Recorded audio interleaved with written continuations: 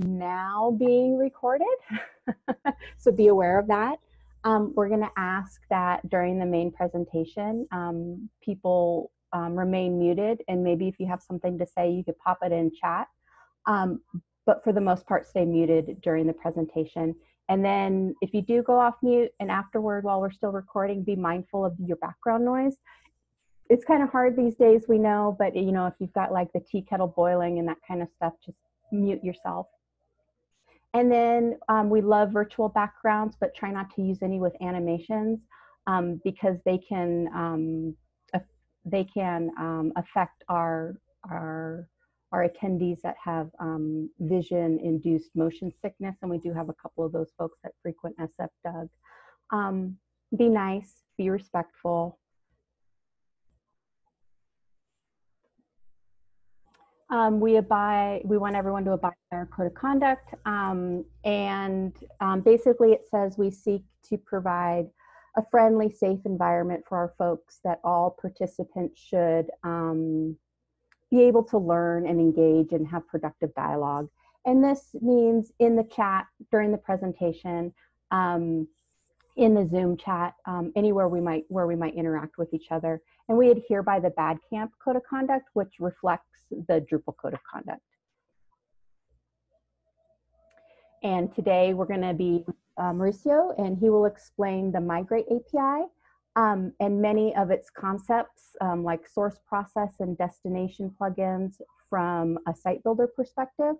Um, we'll go over some subfields, some constants, some processes, and um, he'll be able to explain that a lot more eloquently than I.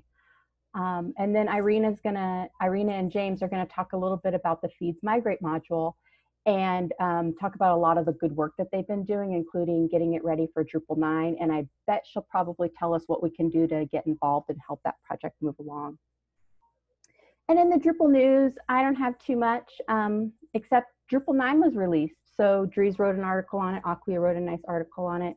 So go figure out um, what you can do, what the roadmap is, that kind of thing. That's the most exciting news we've had in the last two weeks.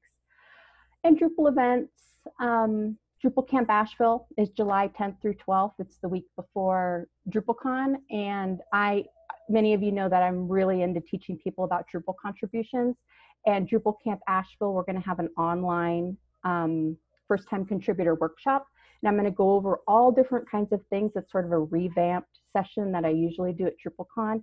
But I'm also going to go into depth about what kind of contributions you can do that aren't code based and talk about where you can go to find out how to do more things than just code.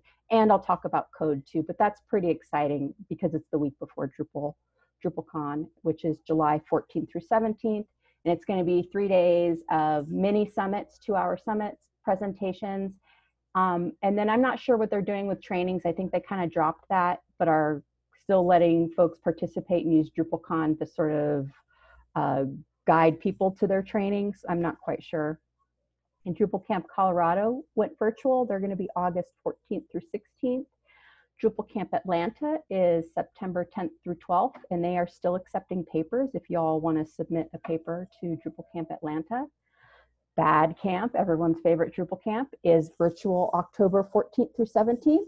Um, we did list the trainings that we've um, confirmed on our website. Um, Mauricio is going to be doing a, a, Drupal 8 or Drupal, uh, a, a, Drupal migration training there. Um, so that's exciting. So this is might be even a little bit of a of a preview of what's what's to come at Bad Camp. Drupal Camp New York City, they're still thinking that it's going to be an in-person conference and it's going to be either October 30th and 31st or November 13th through 14th in Times Square.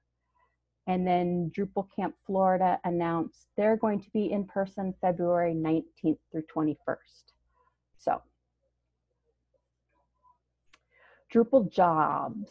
Um, at the end, we can talk about who's hiring and who's looking. Um, Drupal.org um, or jobs drupal.org is a good place for both posting your resume and posting jobs. Um, uh, I talked about this last week, but it holds true that the community working group had a really good article for resources for what you can do while you're looking for work, what you can do in your downtime.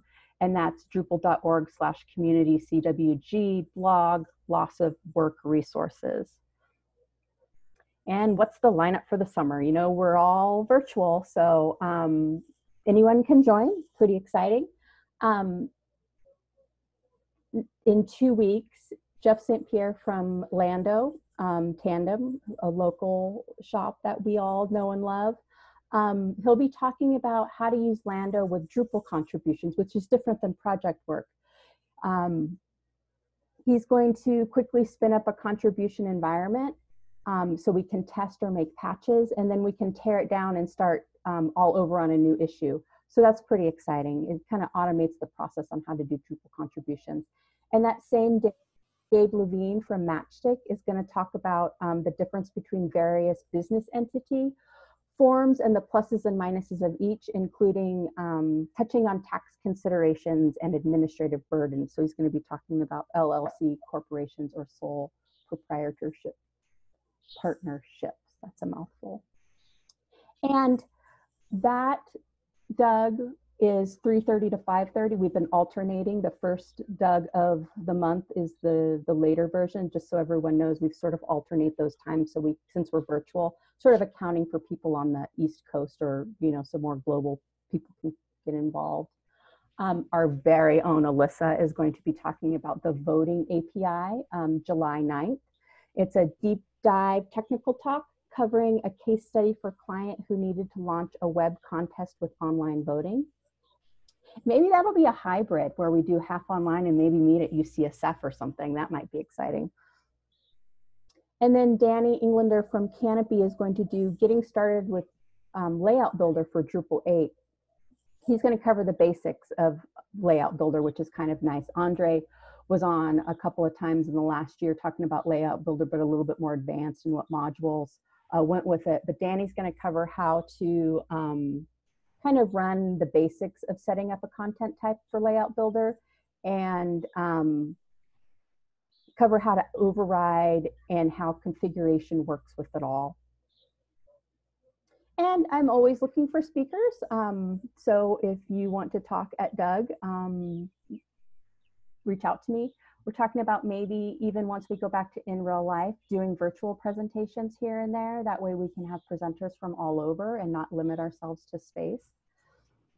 And then Bad Camp is coming up, and we always could use volunteers and help organize. So if you want to make Bad Camp more radical, there's lots of opportunities to do that. And then um, I'm going to use this space because I'm an organizer for a couple different camps.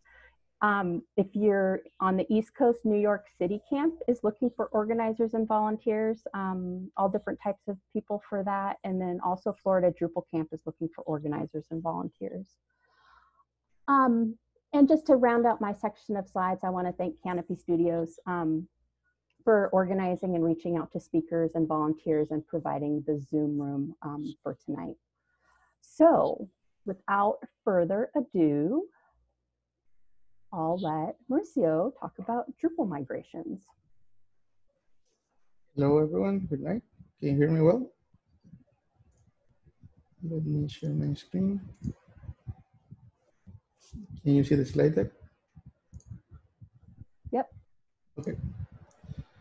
Well, uh, thank you everyone for being here and to the San Francisco Drupal user group for the opportunity. This is Drupal 9 migration by example. Um, the slides and the code that I'm going to show is already available. So if you go to that URL, which I'm going to share um, uh, after the meeting, you can get everything that I'm going to showcase today. My name is Mauricio Dinarte. I go by Dinarcon on Twitter and Drupal.org. That is my email and my link to my Drupal.org profile. I am from Nicaragua. Uh, it is 82 degrees at the moment, and it's about the same temperature all year round. So if you ever need to escape cold winters, although in California it's not that bad, you can come here, beautiful nature. If you feel adventurous, you can go to a lot of volcanoes, some of which are active. If you want to do it online, you can go to that website and it's a tour on like going from the top of a, of a volcano to where the lava is flowing. And you can actually do it in person if you want to. Um, I work with a company called Agaric, which is based in Boston, but we work remotely, and I am based in Nicaragua. And um, just like a, a, a shameless plug, plug um, Amy June mentioned that the DrupalCon trainings were canceled, uh, but some companies um, are going to organize those trainings them, their, themselves. And Agaric, we were supposed to present two trainings at DrupalCon about migrations. One uh, like this one, basic concepts of migration, and another one on Drupal upgrades from seven to nine. Um, so that's going to happen next month. So if you are interested in, in professional training, you can check the website for that. I am also very passionate about teaching, and I started this project called Understand Drupal to be able to share what I have learned over the years. And not being an English speaker myself, like a native speaker, I have experienced a language barrier, and one of our goals uh, is to be able to provide content in multiple languages. So at the moment, we're mostly writing in English, but we also have Spanish and French translations.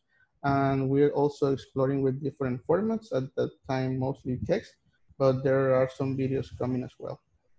So in that uh, in that website, you can have a look at a series I, go, I wrote last year about migrations called 31 Days of Migrations. And that's basically a guide, like if you have never heard about migrations at all, and you only have some basic Drupal site building uh, knowledge, uh, you know, you go through the series, it's 31 days, 31 articles, and you will be able to learn a lot. Uh, and I also producing a video course about the same topic, so feel free to have a look. What we're going to talk today, um, um, to uh, many examples about migrating nodes, files, paragraph, uh, taxonomy, uh, dates, images, files, addresses, migrating from different sources like uh, CSV and JSON, doing it from the UI and from the terminal. So I'm going to spend some time like starting from scratch, but after the fact to save some time, um, I'm just going to explain the examples that are already available. We're not going to talk about uh, multilingual or multi-value field migrations, upgrading from previous version of Drupal. Uh, that's a separate talk that I might be presenting in about a month. So uh, you can follow me on Twitter for news about that. Uh, and we will be talking about writing custom migration plugins. And this is only because there is no time to cover all of this, but at the end I will try to leave some room for questions. And if someone wants to ask anything about this, I am happy to, to answer as well. Uh, and as I said before, you can follow along. That's the link to the slide deck. And another one to a feedback form is five questions anonymous. So I would love to have your feedback, not only about the content, but also uh, about the way that I present it. So I always try to improve. And if you get a chance, I will really appreciate it. And all the code that I'm going to show today is public. It's already available. And you can, you know, just like uh, read it, study it, and, you know, in addition to what I'm going to explain today. So let's, let's start. Um, before going into the examples, I want to give a, um, a basic idea of what the migration API is in Drupal. If you have ever worked with uh, an ETL system, um, this is what the migrate API is. If you don't know what ETL, that doesn't matter. Uh, you can be pretty proficient in the migrate API without knowing this, but I, I have been giving trainings for many years and in many cases, people come to these trainings being expert in other fields, not necessarily in Drupal, and they know much more about databases, much more about you know this other type of system. So I'm just mentioning this in case you are familiar. And, and that's basically what the Migrate API is. It's an implementation of an ETL uh, system in Drupal. To give a, a, a summary of what ETL means, um, it's a way to move data from one uh, location to another, from one system to another. And it's a three-step process. The first step uh, is extracting. And I like to give real life like examples to exemplify, you know, what, what these terms mean. So imagine that we want to make bread. So we need some raw materials like yeast, flour, salt, and so on. So in the ETL process, the extract part refers to getting those raw materials. And in the case of Drupal, getting that raw data. Are you importing from a CSV file and you are importing from a JSON file and you are importing from WordPress or maybe Drupal 6 or 7 into 8 or 9? So depending on your source of your data, you will have a source plugin that's going to give you that functionality. Once you collect, you know, your source materials, your raw materials, you, you know, transform them one way or another to what you, you want to do in the end. In the case of, you know, making bread, uh, you add salt, sugar, you bake it, you, you do a lot of things. So this transformation of the raw data, of the raw materials, um, is done in Drupal via process plugins. So you will be able to mix, mix and match and transform your data from however it was stored in the original system into the expected format from Drupal. Um, and we're going to talk about that uh, through the examples. And once all the transformation are, are, completed, then the last step in the ETL process called load uh, means uh, storing the end result of those transformations in into some shelves. For example, if you're making bread, you might do different type of bread, and each of those is going into its own shelf. So in the case of Drupal, this uh, can be nodes, user, uh, paragraph, taxonomy terms, media entities, and so on. So um, these are like the different uh, shelf that you can put your, you know, your content into. And for those, you have destination plugins, one for nodes, one for users, and so on. And these three parts is mostly uh, what the Migrate API does. Uh, that being said, um, when when I was tasked with writing my first migrations a couple of years ago, I thought it would be easy because back in, in the day, I had already about five years of experience with Drupal, being a developer and a site builder. And you know, it's just like one more task. It ended up not being the case because I stumbled upon a lot of concepts and a lot of new terminology that I didn't understand at all. And it was pretty frustrating. In the end, I only wanted to move some content into Drupal. So, uh, well, you know, the, my estimate of a couple of hours turned into a couple of days, if not weeks. But in the end, this is what made it click uh, or how I started to understand uh, how the Migrate API works. Remember what I mentioned before, the source, the precedent, the destination plugins? So all these buzzwords that I didn't understand at the beginning will fall into one of these categories. And the, the thing is that when you are writing a migration, um, each migration is going to have one source, one destination, and as many process plugins as you need. So for example, you can be reading from a CSV file into nodes to create nodes. And then you have as many transformations as needed. You might be reading from an XML file to create users and so on. Uh, one thing to clarify here is that it is true that every migration only has one source and one destination, but a migration project is a collection of many migrations. So for example, imagine that you want to upgrade from Drupal 7 to Drupal 9.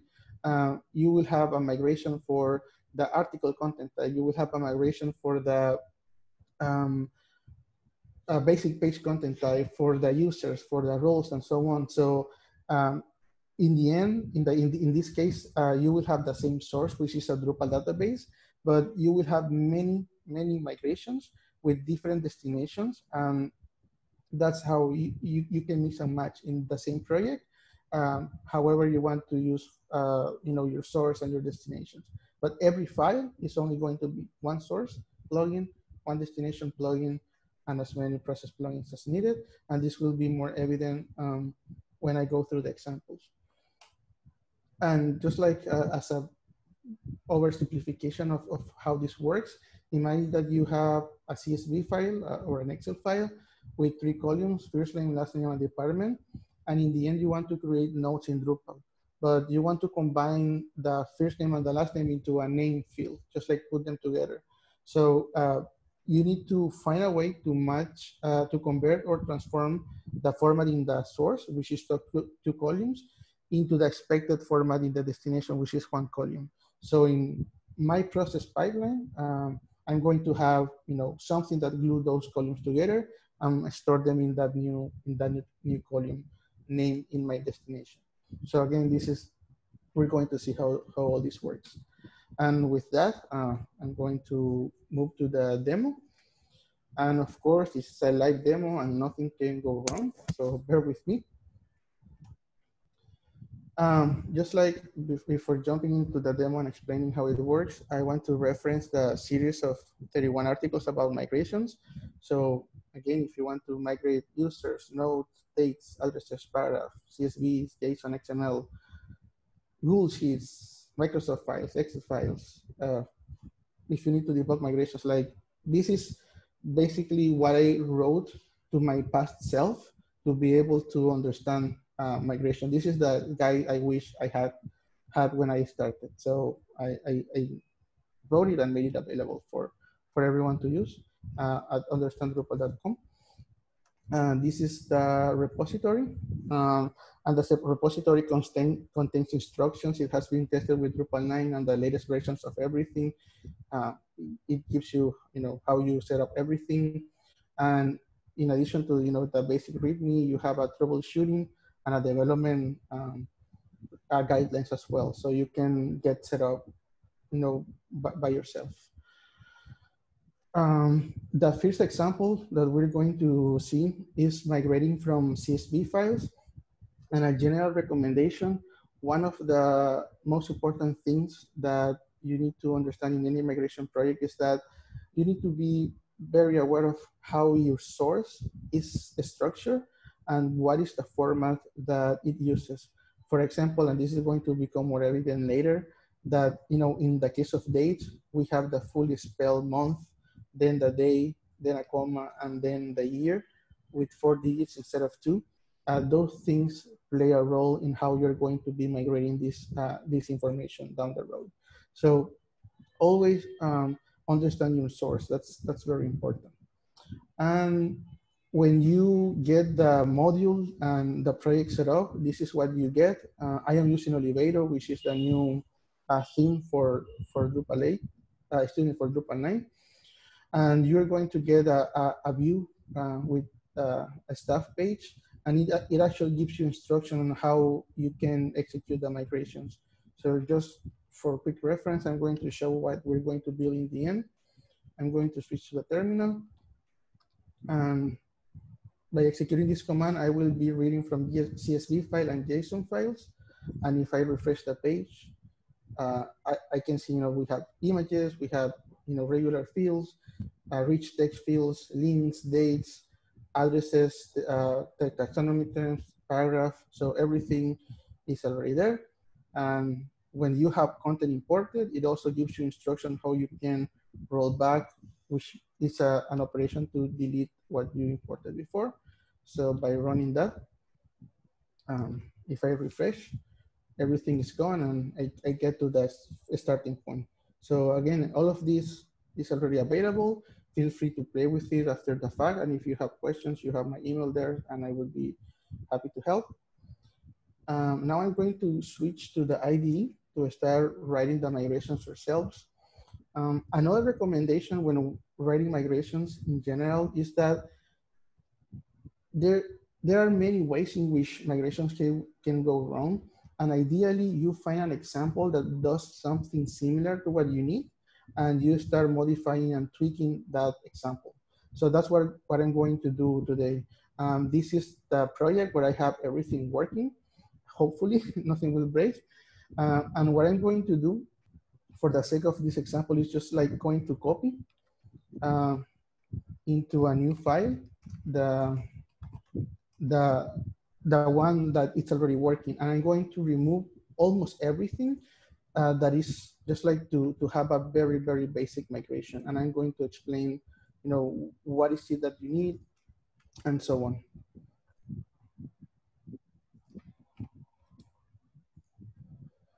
Um,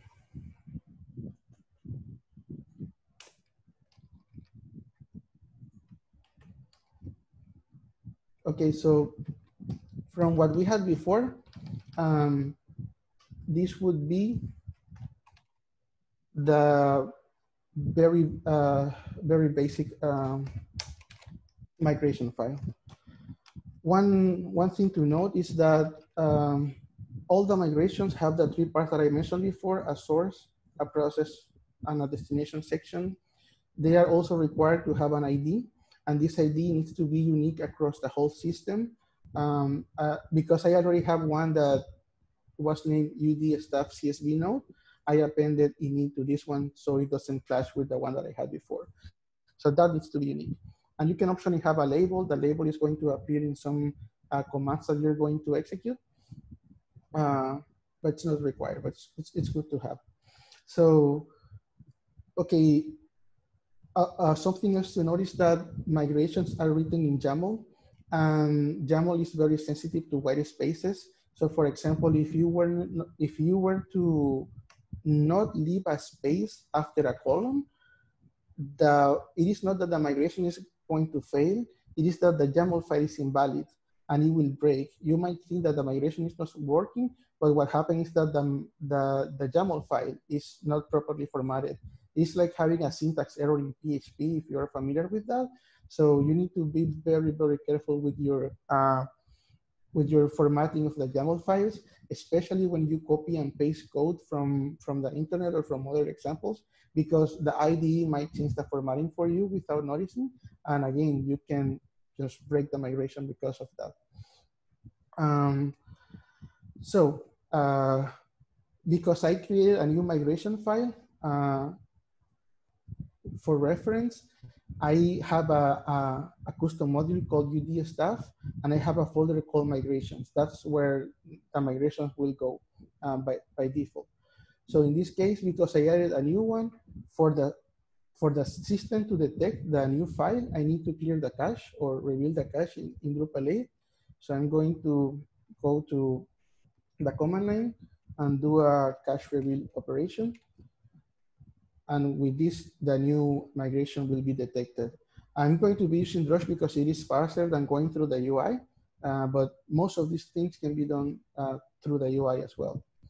And another thing is that I have this migrate status command where I can see all the migrations that are in my system. Uh, this is the one that I just created. So uh, I, I can see, I can verify that it is already detected. You can see that I am passing extra parameters to the migrate status command. This is just because the, the screen, I have the, the, the font very big. And if I not to do that, it will print more, more columns and it will make it harder to read. So just, it's not necessary to do it, but just for, for making it easier to, to present. Now, um, I can see that my migration is being detected. And if I go to the website and refresh, uh, nothing happens. The, the table doesn't appear with data. And this is uh, something else that we need to consider. Uh, run, executing a migration or doing a migration is a two-step process. First, you need to write a file, and then you need to run it or execute it. Uh, so for that, the way that you execute the commands is by, again, in this case, using Drush. You can do a migrate, oops, sorry, migrate import command, and then you pass the, the ID of the, of the migration that you define. And in this case, we can see that it reported to be successful. I'm going to check the website, and indeed, it is already doing something. Uh, we're going to take a step back and explain what we are doing so far. But in general, I like to you know, show the end result first and then explain what's going on. So we know that something that we did is already working. So let's have a look exactly what we're doing. In the source, we are saying that we want to import from CSV file. That was uh, the, the thing that we wanted to do. So as I said before, there will be different plugins for this. And in this case, uh, uh, there is a plugin called CSV. This is provided by a column, uh, by a module in the contrib space called migrate source CSV. Uh, uh, in the slide deck, there is a reference to a blog post where I list many modules uh, related to migrations and their purposes. So anytime that you want to migrate from CSV file, you add this extra module and you get that functionality. each source plugin, be it CSV, JSON, Drupal uh, 6 or 7 database, WordPress, and so on, each of them are going to have their own configuration. In this case, the uh, CSV plugin expects at least two things. One is the path to the file itself. And I can see that this is a relative path uh, from my Drupal installation root. So this is basically a file in, in the same module. So um, this uh, UD staff CSV file. Again, to make it easier to understand, we can use the GitHub uh, user interface. And this is the content of that file. Um, now, uh, the other thing that the module expects is a, an ID key, and that ID is going to be an array of elements. Uh, those elements are columns is my CSV file. So in this case, I have a, a column called staff ID that's going to represent uh, each row uh, in my in my CSV file. So this column is like my unique identifier. It is possible to have more. Like for example, if I didn't have this column, I could use a combination of first name and last name uh, to make a, a to uniquely identify each record. But in this case, because I have this, uh, it, it, suffices. Another thing to notice that um, the migrate API and in general, when writing YAML files, sometimes there are alternative um, syntaxes for doing the same thing. So for example, the, the I, I, said that you need to specify an array. So you can do it like this, like uh, having an indentation, like uh, one level in, indented and have a, a, minus sign and a space and then your elements. And if I were to have something else, it will be here. So um, uh, this is another way to define arrays. You can do it like this, or you can put in square brackets in the same line separated by commas. And just like uh, as a reference of many ways of doing the same thing. So that is my source. That's all that I need. Uh, the CSV source plugin actually provides other configuration options, but that's the bare minimum. And again, if you were to use a different plugin, uh, that has to a different configuration. Something else that you need to keep in mind, uh, the Migrate API is always evolving. I have been presenting on, on these topics for at least four years now, and there is always something new. And for example, about a year ago, there was a new version of this module that provides CSV import functionality. And in that new version, the name of the configuration keys, some of they changed.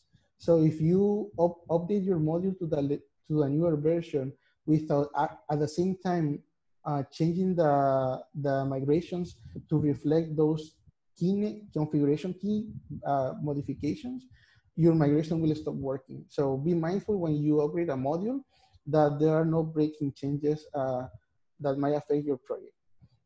Uh, in addition to my source, I have, you know, my destinations, what I want to do. In this case, there is a plugin called Entity Colon Node, and this is the one responsible for creating nodes. So I am creating nodes of uh, a specific type. And that type, uh, it's called UD staff. The same way that you can create articles or basic pages. In this case, uh, I am creating nodes of type UD staff. Um, the way that you specify the type of node is you, you say default bundle and then the machine name. And that's a pretty common pattern. Most of the time when the Migrate API asks you for something, it is the machine name of it. So you need to be aware of that. Um, and there are different ways to, to, to find the machine name of, of, of a piece of content. And then I already have a way to collect my data and I already know that I want to store uh, nodes of type staff. So in my process section, I'm going to do my field mappings. On the left, uh, you will have the properties and fields of your destination, in this case of my content type. So I am setting the title um, uh, property to whatever is in the first name column in my CSV file. One caveat here is that the, the names are case sensitive. So that's why I say you need to be very mindful of how your source is configured because the columns uh, use like capital letters for after a space. I need to do the same here. If I were to put a, a lowercase n, it will not work. And by doing this, um, I already have you know a migration working. But let's say that I, I, as I said before, I want to combine the first name and the last name into into the title. So how do I do that? Um, that is where process plugins come into place. And I'm just going to do what I normally do when working with migration. I go to my search engine of choice and I say Drupal migrate list of process plugins. Um, you know, the first results look very promising. I'm going to click there. And I want to put together two things. So let's see what I, what I can find. There is a list of core migrate process plugins that looks reasonable. And in that list, uh, I can inspect one by one. And the third one uh, says that concatenates a set of strings. In computer parlance, concatenates means putting things together. So apparently, I can use this process plugin uh, to put my first name and last name together in the title field. So I'm going to click there. And conveniently enough, um, it says, you know, this is what you want to do. And it gives you like an example of the configuration. So you have your process section, you have your field that you want to combine, and then how you use it, how you use the plugin. So I'm going to copy this, go to my IDE, and be very careful with the pasting. As, as I said before, um, indentation matters, the spaces matter. So as you can see, when I pasted things, um, it, it's kind of uh, weird. Source and plugin should be at the same level. So I put them you know, at the same level and both of them need to be children of title. So um, I, I'm just like doing the right formatting. And then I, I, I say what I want to concatenate. In this case, first name and last name.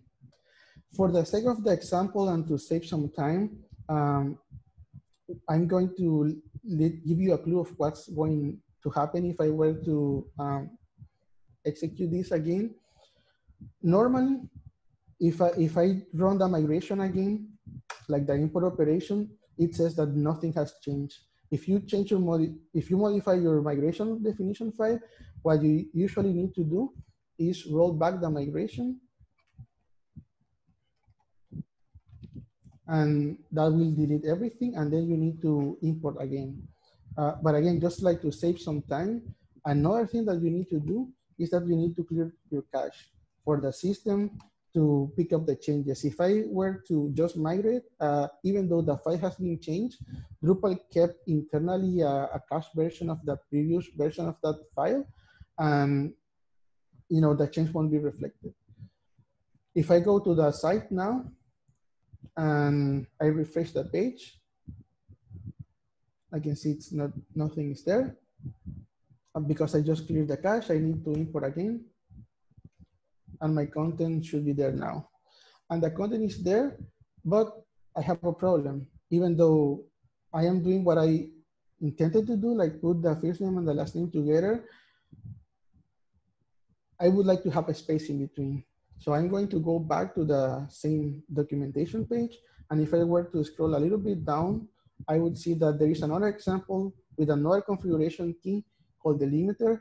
And apparently this is something that I can use you know, to, to put that white space in between. So I'm going to do that. Again, I need to be very careful with my indentation and formatting. A white space I can put uh, between quotes. And I clear my cache, roll back, and import again. And if I go to the site and I refresh, my, you know, if I go to the to the individual node, I can see the space in between. And even though this might be verbose, uh, this is actually like a real life workflow. Um, anytime we're working with migrations, you are going to constantly be changing that file. You will need to come, um, you know, become used to clearing caches, rolling back, importing again, and so on. And one thing that I am not doing, uh, again, because I want to save some time, but usually, every time that I get something working, I will be using Git or any other source control system, and I will commit a change. And why do I do that? Because if at some point I am migrating 10 different fields and something breaks, it is easier to identify which one is, is, is not working. If you have been uh, committing to source control everything that worked before. So you can just like go back in time to the one that is failing and fix that. instead of trying to guess, you know, which of the 10 fields is not working properly. Another thing, uh, and this depends on, on, you know, how you work, how you develop, but try to read the whole documentation page. Like in this case, the delimiter key, I could have done it since the very beginning, but I just like just copy and paste it like when you do from Stack Overflow and so on. So be mindful of two things, understanding what you are copying and pasting and try to read the documentation fully because many times you will have extra options that you didn't know and actually are very useful. So this is like the very, very first example of, of what we wanted to do. Let's say now that we want to migrate um, the biography, like uh, a, a rich text field.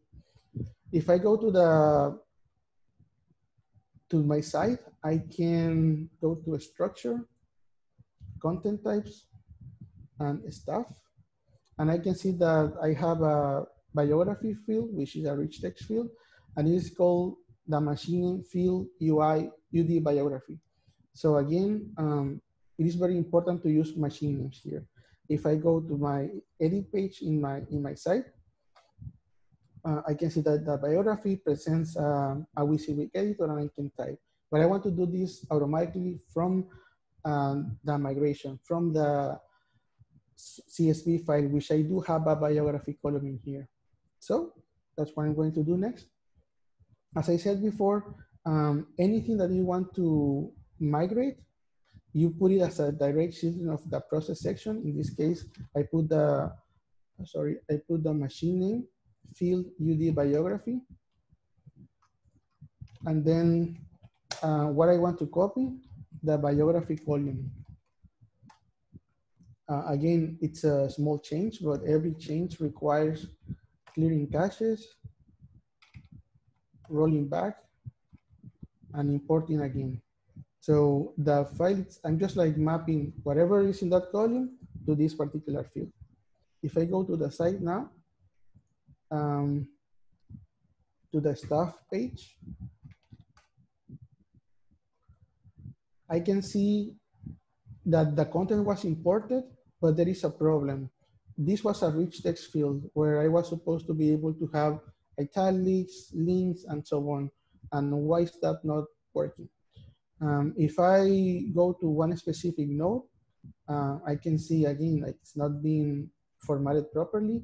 And if I click edit, uh, the content is there, uh, but the biography and in general rich text field, you not only put the content that you want to appear, you also need to specify the text format. In this case, basic HTML, restricted HTML, and full HTML.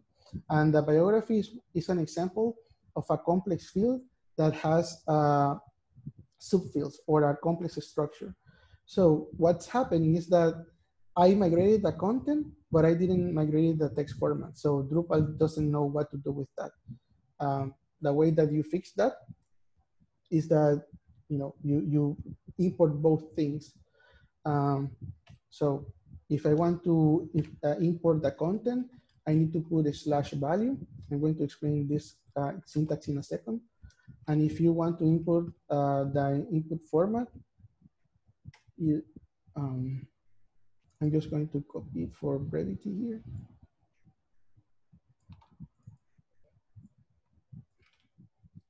Um, you know, indent it properly. So uh, when when a field has a, a nested structure, a complex structure, what you do is like you put first the name of the, the machine name of the field and then a, a slash and then the name of the subfield, in this case value, and in this case format. One thing to notice that we don't have in our CSV file which format we want to use. So we can, what we can do instead is provide a default value. And the way that you provide a default value is using a plugin and rightly named default value. And then you configure it like this, default value, and then whatever you want to, to store. In this case, I am saying uh, import using the basic HTML format. And again, this is the machine name of that particular format um, I'm going to roll back, clear my cache for the change to be detected, and import again. And if I go to the website, to the staff page, now my bolds, uh, my links, my italics are working because this time when I run the migration, I did specify the input format that allows for this. Um, one of when I was starting with migrations, I was very confused by this. You know, how do I know what value, uh, what subfields any particular field has? How did you just guess that it is value, or did you just guess that it is format? Um, there are many ways to figure this information out, but to save you some time, uh, I wrote an article about this. So um, basically any field that comes with Drupal core, I, I, in this article, I explain what are the subfields that are available and what, you know, is the expected data that, that, that you need to put in there, in them. So in this case, uh, this was a text formatted field. And as you can see, the values are, the possible subfields are value and format. And that's exactly what we were doing before. So this is just like a reference for you to know. In the case of addresses, for example, they have 13 subfields for different things. So be mindful, not all of them are required, um, but something to keep in mind. Um, and now let's do, let's talk a little bit more about uh, syntax. So in Drupal, you can have multi-value fields and the way that you specify uh, multi-value mappings in Drupal is again like this is the machine name of the field. So I have a, a link field in my con content type configuration. Um, again, it's important to understand your destination again, not only your source. If I click edit here, I can see that I have a, an a, a online profile when I can have, you know, as many items as I want. And these are link fields that have URLs and link text. So again, what I'm doing here is like first the machine of the field, then slash, and then a zero base index representing the delta or the multi-value, uh, the first element, the second element, the third element, and so on. And if I want to migrate specific subfields, um, I put a your, uh, you know, the slash and then the subfield. So the, the format in general, if you want to generalize, is uh, machine, I'm sorry, machine name delta, which is for multi-value fields, and then subfield. And this is how you can, you know, do dynamic migrations. Uh, in this case, for the URI, I do have in my CSV source a column called Drupal, a column called GitLab, and a column on Twitter with URLs and that's what I'm doing here. Uh, but for the title, I don't have anything. So I am actually going to introduce a new concept, uh, and this is called source constant. So if you want, um, in addition to uh, whatever your source plugin defines, you can also do things, uh, you can uh, have a, a, a constant section and in that constant, you can have just like raw text, hard-coded text that you want to use later. Uh, this, anything that you define in, in, in, this constant, you can use in your process uh, down the road. So what I'm doing here is like, when I migrate the Drupal uh, URL, the title of that uh, link, I want it to be my constant called Drupal link title. So constant Drupal link title, it would say Drupal.org profile uh, for GitLab, you know, the other one, for Twitter, the other one. So constants is a way to have this uh, default hard-coded uh, content that you can use uh, after afterwards. And if I wanted, I can have a constant for defining the input format here, but I just want to show different uh, ways of doing the same thing. So that's why I intentionally did it this way. Uh, again, this is a change. I need to clear my cache. I need to roll back and I need to import again. And by doing so, if I refresh,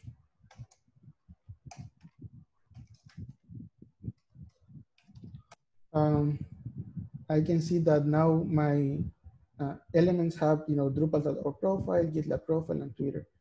And I, if I go to edit one, one of them, so uh, just for, for the record, I am using the quick start command that comes with Drupal, and that is using that PHP built-in server and sometimes that freezes. So that's what happened here. It just froze for a moment but now I stop the server and restart it and it starts working again. So if I go here, I can see that the URL is coming from my CSV file and the link text are coming from my source constants, like hard-coded values from my source content. Um, one thing that I want to show, I am on the edit page for a particular node. Without making any other change, if I roll back and I import again, in theory, I am not making any change. But if I go to the site and refresh this page, I get a page not found error. And this is something that might be easy to miss, but every time that you roll back, you're actually instructing Drupal to delete what it was created.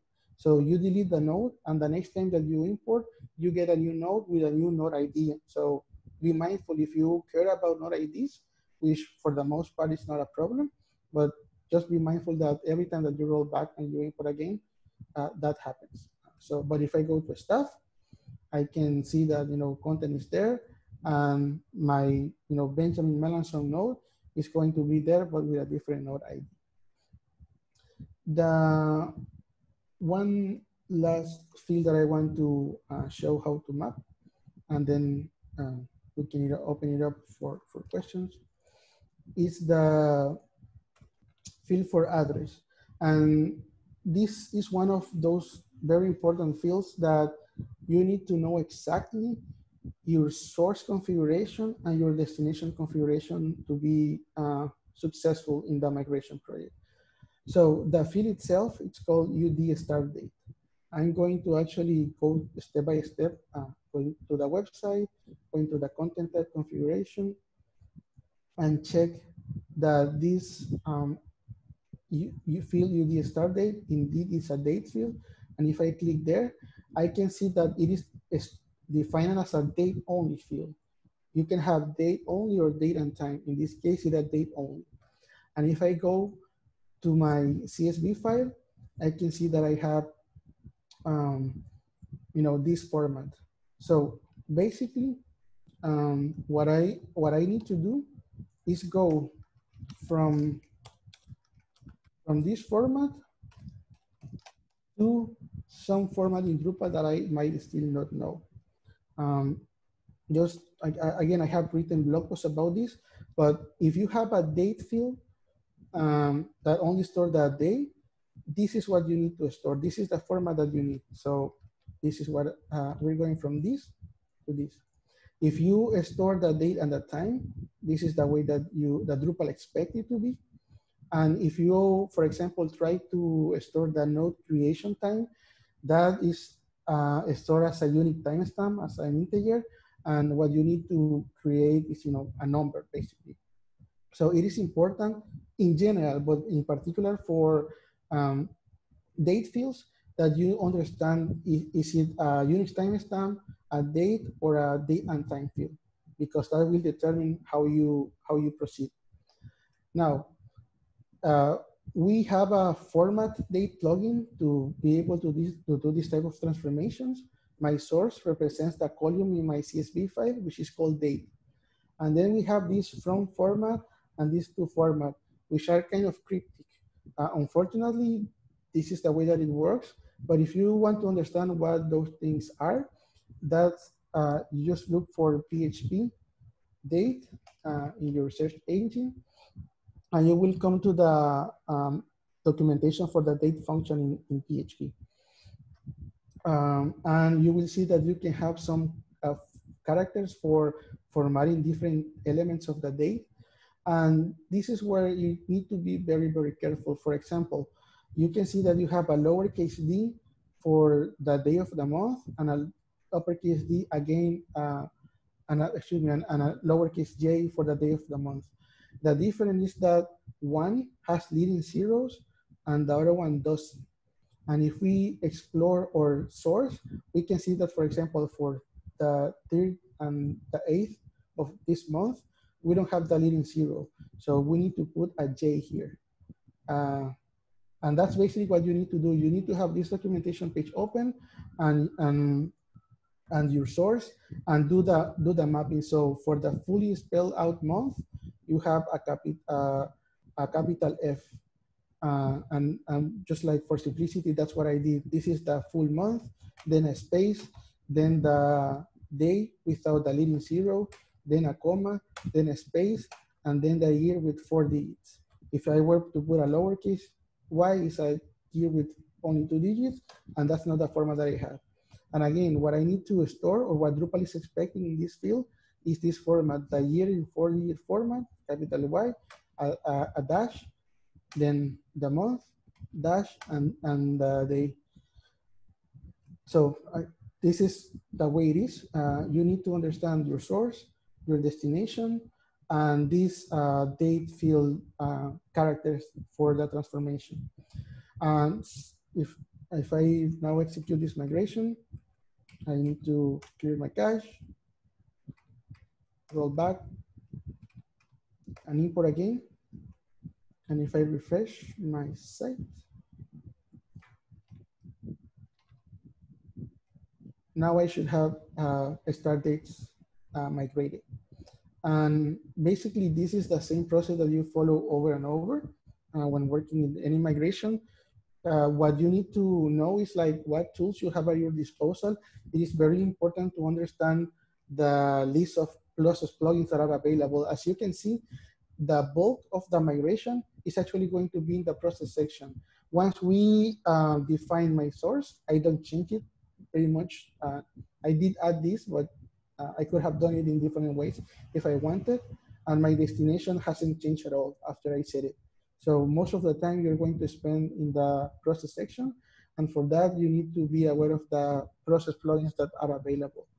Again, if I go to that page from Drupal.org, um,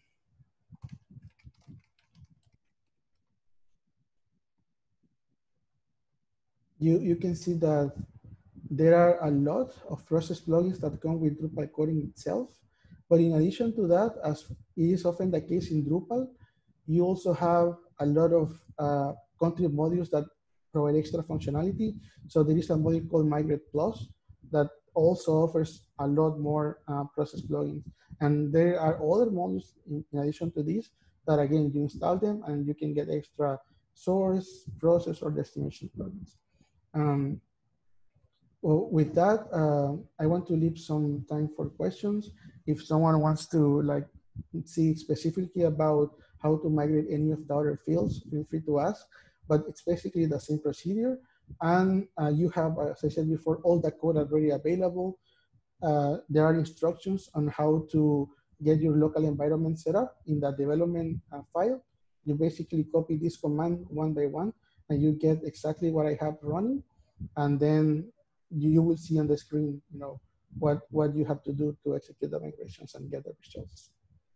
So if there are questions about uh, any of the remaining field mappings or in general, I'm happy to, to answer. There were there were a couple questions in the chat. Um, Farnoosh asked, um, does the ID have to match the file name? Uh, the question is, does the ID needs to find the needs to match the file name? No, it doesn't. Uh, Okay. it is common to do it, uh, so you you know you keep that relationship, but it, the the Migrate API doesn't enforce it. The only thing is that it needs to be unique in the whole Drupal installation. And then Marky asked, couldn't you do a Drush MI um, dash dash update migration name? Okay.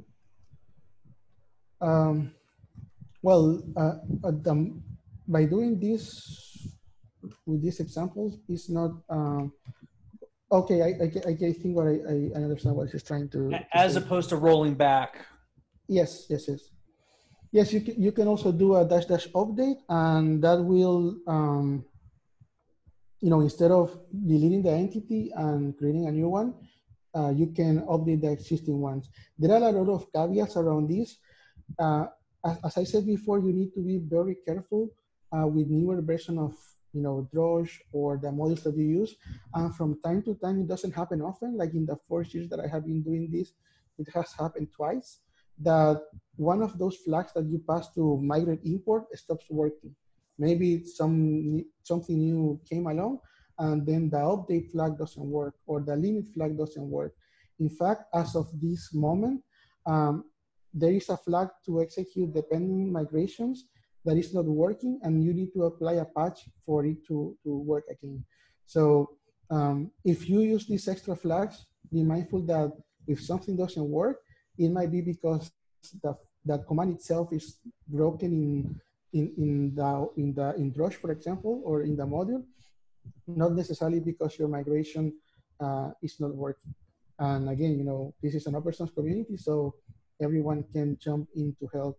Another thing that I want to, to, to mention, and this is mostly about paragraph migrations, um, I'm going to, for the sake of, you know, going a little bit deeper, I'm going to execute the whole migration so I can, it, it can be shown or seen. So I'm going to execute um, all my CSV migrations in one go.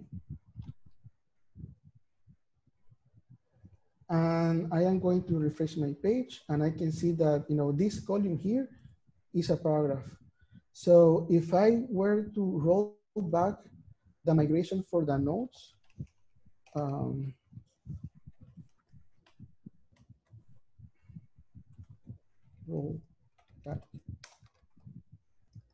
I can see that everything is gone. And if I import that migration again, I would expect that everything will be there, but you will see that it won't be the case. So if I refresh, oh, huh, interesting. Apparently that has been changed. But just for the sake of the example, when, when you, you roll back a, a, a node migration that has a dependency of paragraph, it used to be the case that when you import again, the paragraph will be missing. And what you had to do before is to roll back both the paragraph migration and the node migration and then import them again. So this should have, have this should have a fail, but it didn't fail, which is a testament that things are, are always changing. Uh, but yeah, that, that's something that I wanted to demonstrate that sometimes when you actually delete instead of updating, because you are interacting with the whole of Drupal, you might actually be triggering uh, other modules to do some operation when you delete the main one. And in the past, when you delete the node, it will also delete the paragraph references and those will be gone forever. Apparently that is no longer the case. Um, Bernardo asks about layout builder migration, um, specifically custom inline blocks. So uh, as of right now, there is no uh, there is no plugins for doing that automatically. There is no support in Migrate API for uh, layout builder. There are plans to do it and uh, maintainers are, you know, committed to getting it done at some point. But as of today, it doesn't work. What is available is a script that if you are using layout builder, uh, no, excuse me, if you are using panels in Drupal 7 with version 4, you can upgrade to version 5 and that has a script that allows you to um, switch to layout builder. And I might be getting my versions wrong there, but there is a script to go from paragraph to layout builder, but that doesn't use the Migrate API at all. Uh, as of today, there is no support, but the, the team is planning to do it at some point. Uh, of course, you can do a custom migration, uh, but then you basically need to, you know, take care of that data structure transformation by yourself. By yourself. And one thing in particular with Layout Builder is that it might be both code and configuration uh, entities. So if you have a general template uh, for the layout for the layout builder for a content type, that is stored as a configuration entity. If you have uh, layout builder overrides per node, that is stored as content entities. So you, again, you need to understand what Drupal expects under the hood, if it is a content or a configuration entity, and you need to take care of that manually. But you can do it still, uh, even if there is no like a straightforward or easy out of the shelf way. And Colin asks for multi-value fields, how do you um, deal with unlimited variable number of deltas? Um, uh, in, in, in, in the example that I show, um, I did it this way because I, I wanted to, you know, explain the different syntax. But again, um, there, there just, this is not a, a, a correctly formatted um, configuration, but you can, there is a, a plugin called subprocess that allows you to um, basically process an array. So let's say that I have all my elements in, a, in an array. So some array. And then um, I don't remember the name of the key here, but then basically you can have your uh, title and URI and then from that array, uh, what you know, call you know, uh, calling value, value two, value one, something like this. So that's what I say. You need to be mindful of what process plugins are available. When you have unlimited values, you can use the subprocess plugin to be able to, you know, dynamically import as many elements as you want. Uh, and in general, there are many, many ways to do the same thing just like to show an example of this. Um, the, the taxonomy terms, if, if the, doing it like this will allow you to import as many taxonomy terms as you want. And in the series of 31 articles about migration, there is even a better approach uh, to importing taxonomy terms that allows you to import as many as you want. So again, it's like, like Drupal gives you so many tools and you need to be aware of them, uh, what are their usage and their limits. So when you are faced with a challenge like this, you know, you know, I can use this process plugin or that specific, uh, you know, concept of the Migrate API. And then the last question in the chat window is from Irina. Um, she asked if you would talk about chained migrations. Uh, by chain migrations, I assume that she's talking about migration dependencies. Um, yes, migration dependencies and how, um, you know, one of the biggest things about migrate module is that you can have one migration dependent on another, and you can also build custom uh, plugins, which will deal with very specific things that are relevant only for your very own project. And this is where the huge power of migrate. Yes. So uh, in, in, this example, we actually have uh, dependent migrations. Uh, for uh, in, in, in the case of the node, I depend on the migration of images and the migration of paragraph to be executed in advance. And the way that you can enforce that is that at the end, you know, this is an extra key, like the destination, the source, the process. It's called migration dependencies. And you say uh, in a required subfield, which migrations need to be executed in advance uh, for this migration to, to, to run. If any of this is not executed, it will fail. And I can probably, if I, um, I'm, I already broke my example. Let me see if I can show this quickly.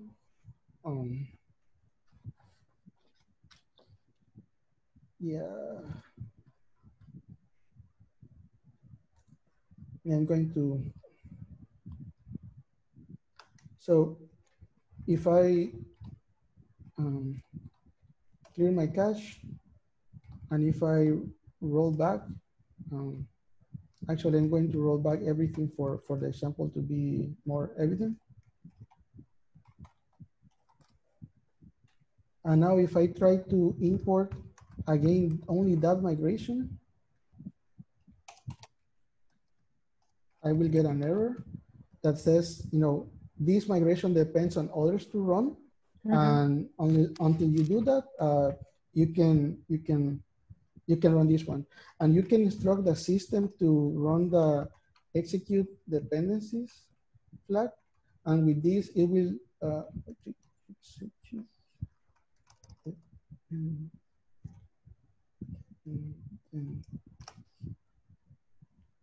and with this, uh, the same API will read the. Oh, your, this your, is so cool. You, uh, it will read the, uh, you know, this array, uh, it, it, you need to be explicit though. Uh, it's not magic. You need to be explicit and it will uh, read this array and execute those migrations. One important thing, and this is that, you know, what, what I changed, the Migrate API is always evolving. This flag is currently broken and I had to apply a patch for it to work. And that's it, it that is in the instructions um, from the demo repository. I, I, I, give the instructions on, on how to apply the patch. So if you follow those instructions, you get it. But be mindful that out of the box, that flag is not working as of today. Okay. Hopefully very soon. Okay. Thank you very much. Very impressive. You're welcome. Thank you.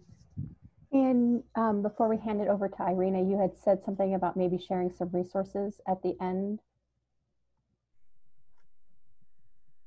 I'm going to stop sharing. Thank you, everybody.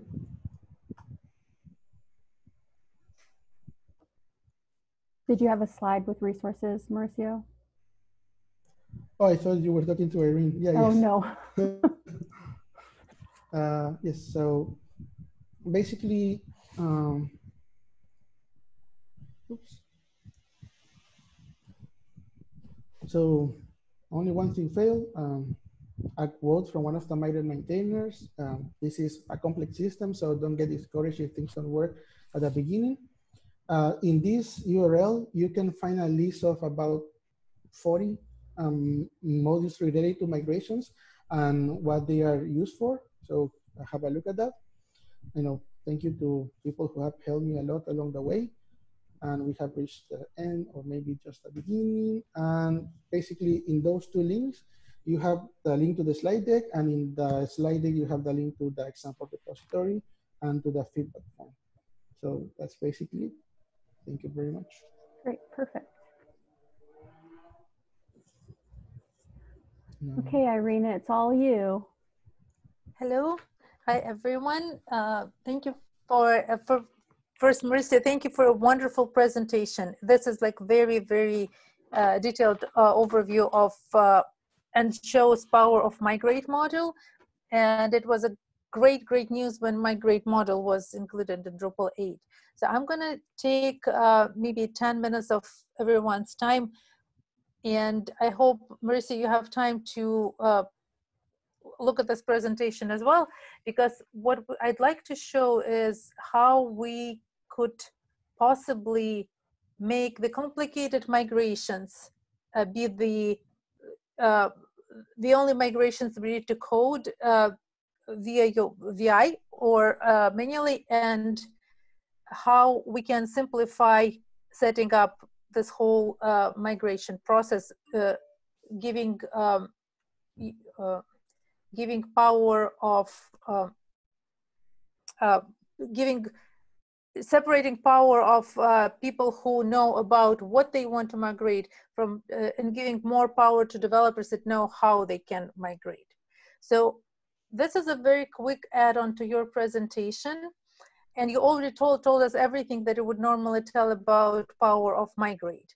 And I'm gonna talk a little bit about uh, feeds module UI and why it is um, so attractive and how we're working on making feeds UI and migrate engine work together and where we are today. It's been um, several years project by now and I looked for my slides and it was exactly a year since I presented at SF DUG. Um, so this is a live demo, so something will break. Uh, how many people used feeds module? Um, okay, since I can't really see any, I, I love this. So let, let's say it another way. Can you speak up if you don't know anything about um, features module? Anyone? So features what, or feeds? What? Features or feeds? You said features. Feeds. No, no, sorry, feeds. Feeds module. So feeds module is um, user friend uh, site build. This is the migration tool built for site builders and for to empower content editors.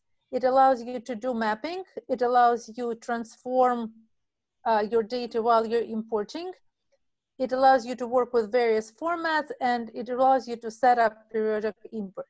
And one of very important things is that your editors can define source of migration.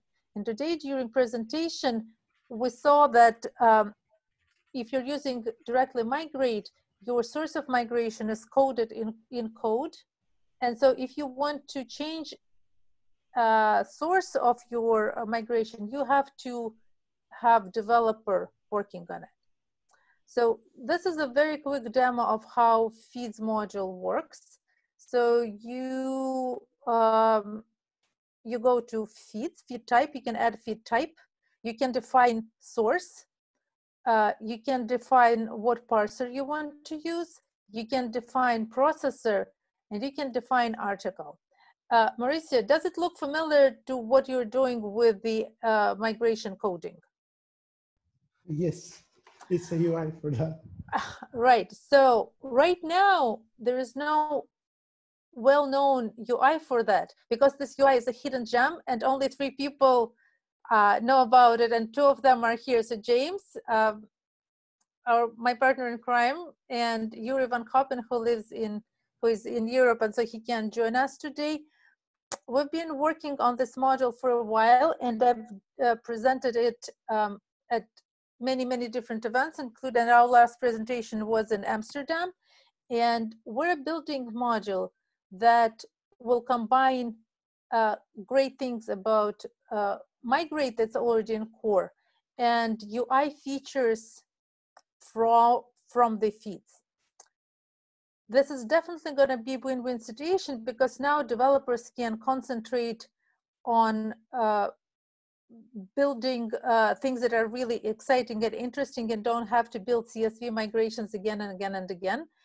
And then site builders can configure it much quicker and much more efficient. And content managers gain flexibility to import their content without going through the, the through another round of development effort.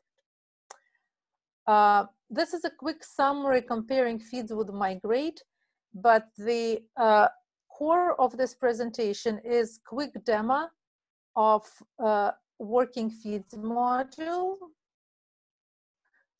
which has been built already.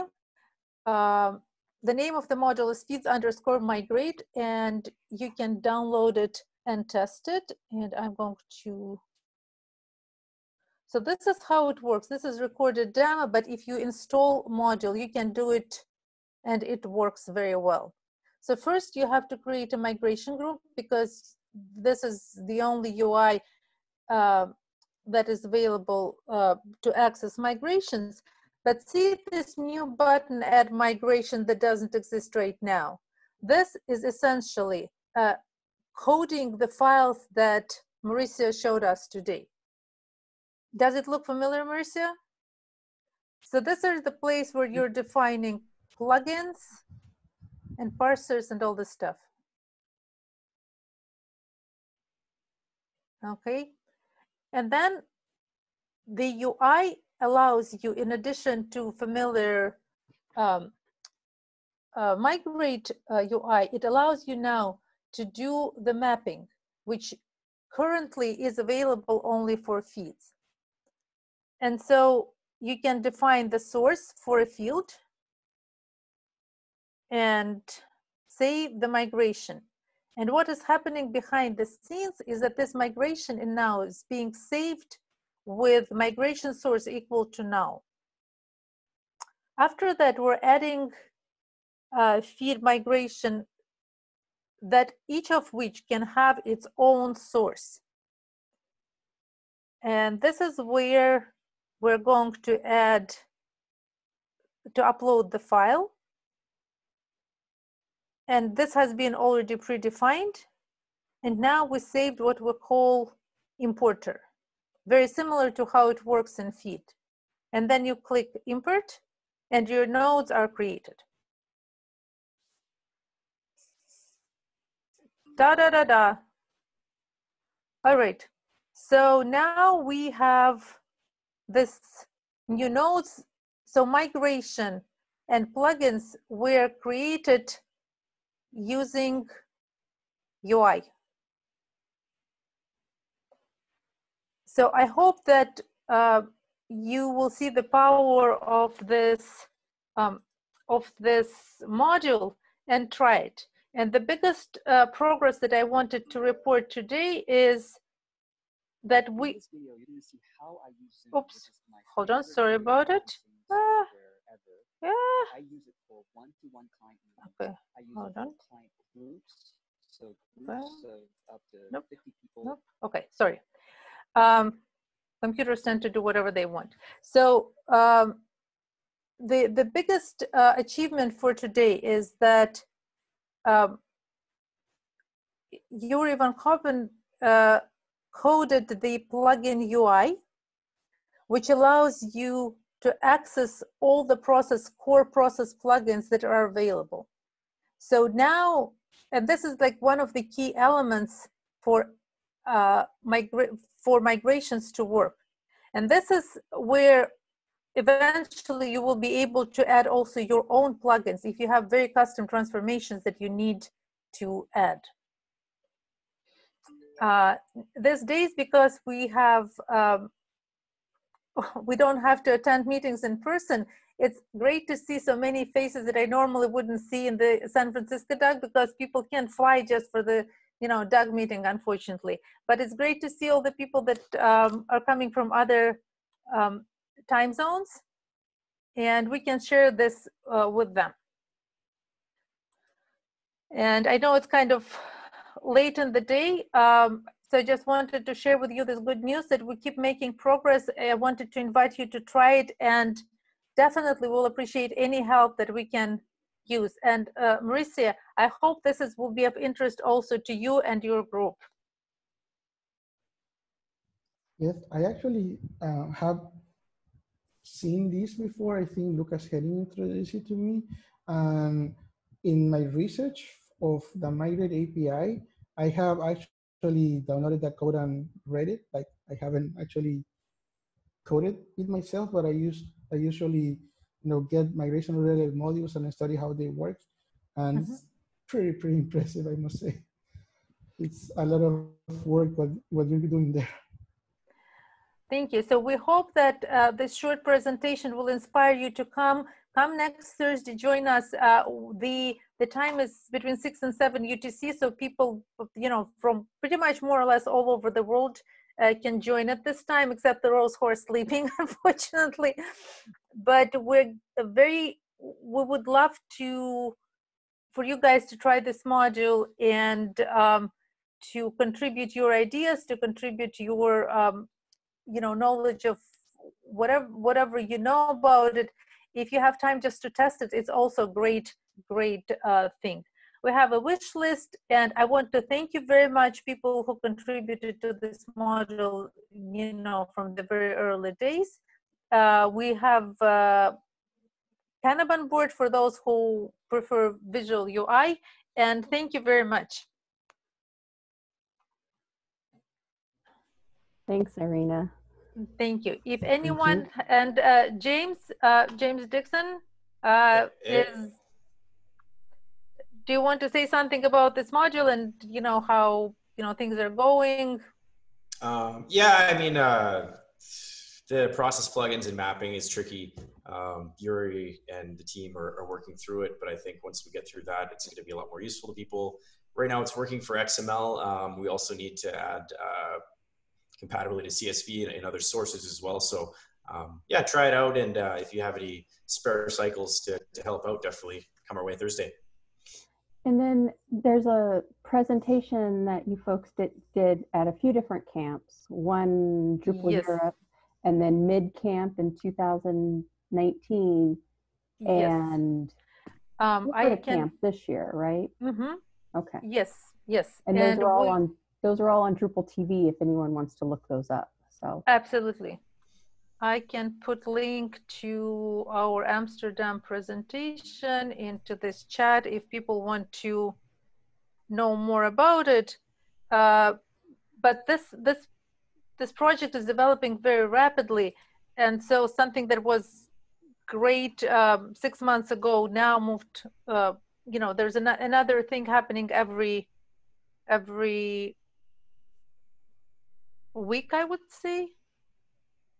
So I don't know whether older presentations, older presentation probably, um, I'm trying to find the, the text.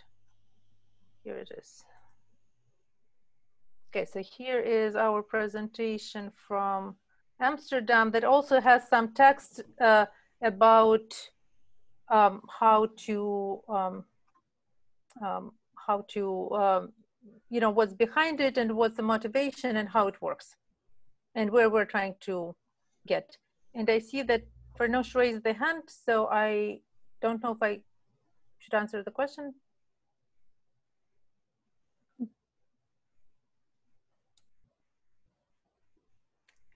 I, I, I do have a question. So are you generating migration plugins on the fly?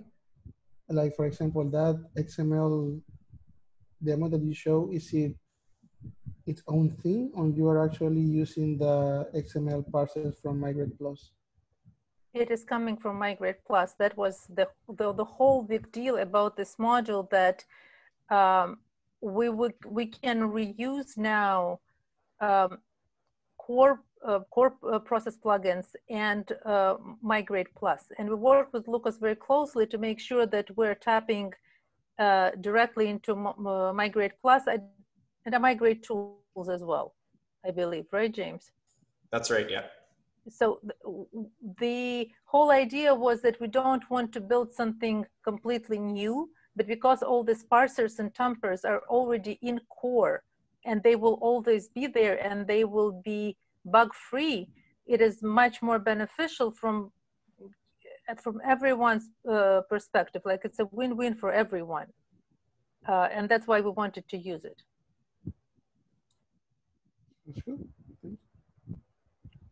So we really hope Marissa that your company will have a chance to look at it and you know even finding bugs is a is a is a big deal. So there's still a lot of work to do but sometimes like I can't lots of there's lots of coding that I can do, uh, but I can say what's not not working.